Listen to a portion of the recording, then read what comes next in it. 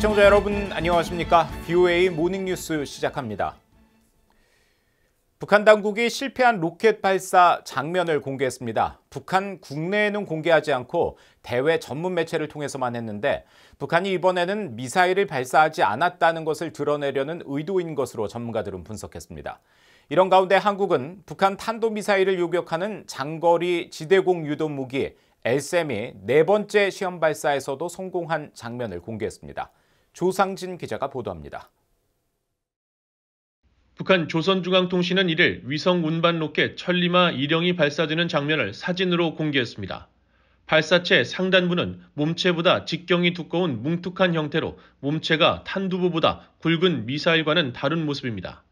발사체의 화염은 최소 두 줄기가 식별돼 여러 엔진을 결합한 형태이며 발사 장소는 기존 서해 위성 발사장에서 3km 정도 떨어진 바닷가에 조성한 새 발사장으로 파악됩니다. 전문가들은 천리마 1형이 위성 탑재부가 강조된 형태를 주목했습니다.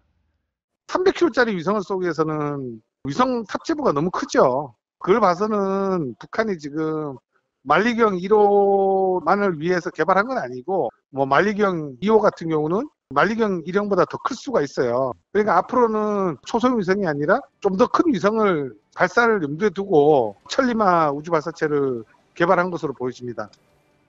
또 북한이 발사 실패를 노동신문 등 북한 주민들이 볼 수 있는 곳에는 공개하지 않고 대외 매체에 신속하게 밝힌 데 이어 역시 대외 매체를 통해 실패한 발사 장면을 공개한 것은 이번 발사가 탄도미사일이 아니라는 점을 강조하면서 국제사회의 제재를 막으려는 의도라고 분석했습니다.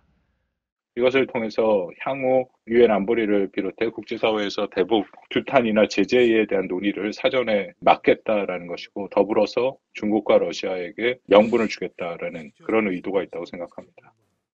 한국 국회에 출석한 이종석 국방부 장관은 북한의 위성 능력은 한국의 위성과 비교해 수준이 많이 떨어지는 해상도 1m 정도로 판단한다고 밝혔습니다.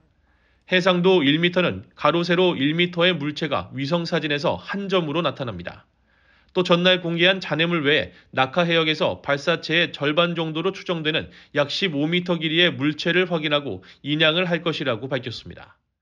뭐 생각보다 이게 좀 무게가 무겁다 보니까 예. 시간이 좀 소요될 것으로 보는데 아마 그 내일 모레까지 가야 되지 않을까 하는 생각, 한 이틀 정도 더 걸릴 수 있겠다고 판단됩니다.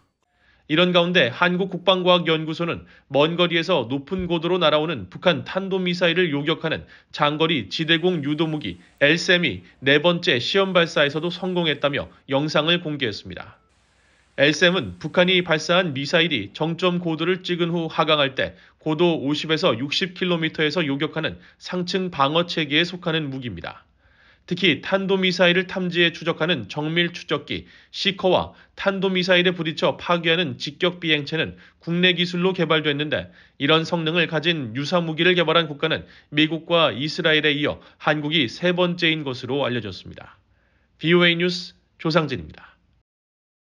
로이드 오스틴 미국 국방부 장관과 하마다 야스카즈 일본 방위상이 북한이 우주 발사체로 주장하는 발사체를 다시 발사하는 것에 대비해 미한일 협력을 강화하기로 했습니다. 일본을 방문한 오스틴 장관은 1일 도쿄에서 하마다 방위상과 미일 국방장관 회담을 열고 탄도미사일 기술을 사용한 북한의 위성 발사를 규탄하면서 미한일 3국의 경계와 감시 활동 강화 인식을 공유했다고 교도통신 등 일본 언론들이 보도했습니다. 오스틴 장관은 회담 뒤 기자회견에서 북한의 위성 발사는 지속적인 도발 행위라고 지적하고 미국 본토와 동맹국의 안전을 확보하기 위해 필요한 모든 조치를 할 것이라고 밝혔습니다. 하마다 방위상은 북한이 한층 더한 발사를 할 가능성이 있어 미일, 미한일 협력을 강화할 필요가 있다며 북한의 도발 행위에 신속하게 행동할 수 있도록 긴밀하게 협력하기로 했다고 밝혔습니다. 또 양국 국방장관은 북한의 핵과 미사일 개발뿐만 아니라 러시아의 우크라이나 침공, 중국의 군사력 강화에 대응해 한국, 호주와 협력하겠다는 방침도 확인했다고 일본 언론들이 보도했습니다. 보니 젠킨스 미국 국무부 군비통제 국제안보 차관은 북한의 로켓 발사를 강력히 규탄하면서 추가 대북 제재 여부에 대해서는 더 지켜봐야 한다고 밝혔습니다. 한국을 방문 중인 젠킨스 차관은 1일 서울 아메리칸 센터 코리아에서 열린 기자간담회에서 북한의 발사체 발사와 관련해 추가 대북 제재를 고려하느냐는 질문을 받고 북한의 이번 행위는 유엔 안보리 결의 위반이며 매우 심각하고 진지하게 받아들이고 있다면서 이로 인한 추가 대북 제재가 있을지는 아직 지켜봐야 한다고 밝혔다고 조선일보와 연합뉴스 등 한국 언론들이 보도했습니다. 또 젠킨스 차관은 중국과 러시아가 반대 입장을 계속 피력하고 있어 현실적으로 제재가 가능하겠느냐는 질문에는 현실적인 어려움이 있다면서 실질적인 추가 제재가 가능할지는 지켜볼 수밖에 없다면서도 문제가 있다는 것과 뭔가 해야 한다는 점을 인식하고 있다고 강조했습니다. 유엔 산하 전문기구인 국제해사기구 IMO가 북한의 미사일 발사를 강력히 규탄하는 결의문을 사상 처음으로 채택했습니다. 국제해사기구 해사안전위원회는 지난달 31일 영국 런던 IMO 본부에서 열린 제107차 회의에서 채택한 결의문을 통해 탄도미사일 발사가 유엔 안보리 관련 결의 위배라는 것을 차치하고라도 북한의 거듭된 미사일 발사는 선원들과 국제 해운의 안전을 심각하게 위협한다고 지적하고 국제 항로를 가로지르는 불법적이고 예고 없는 탄도미사일 발사를 중단할 것을 긴급 촉구했습니다. 또 국제 운송 안전에 심각한 공동 도전에 직면한 국제 민간 항공기구 이카오 등 다른 국제 기구들과 긴밀하고 협력적인 관계를 구축하기 위해 적절한 조치를 하고 회원국과 관련 이해 관계자들에게 진전 상황을 보고할 것을 IMO 사무총장에게 요청했습니다.